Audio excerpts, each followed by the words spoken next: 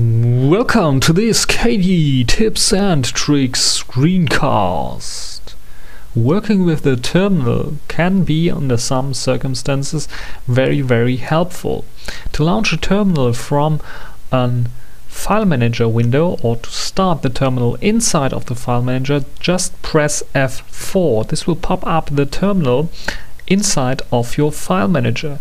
And what this allows you to do is just when you just change your directory to another directory in the file manager, it will automatically change it in this little terminal as well. So let me go to the tests directory, and as you can see here, it changes to the tests directory. And this allows me just to execute some commands inside here for editing the files that I have here. For example I want to create a short backup of, all, of my RecFFmpeg tray file. I can do so very easily by typing in this command and now I have a backup file.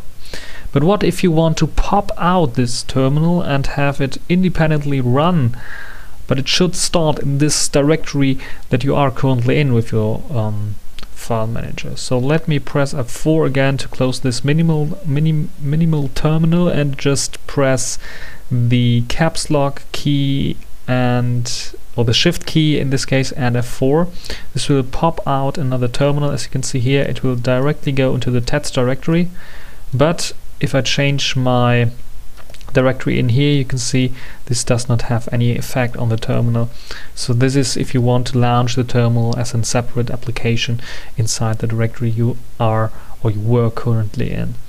So uh, this is everything for this screencast. I hope you enjoyed this and thanks for watching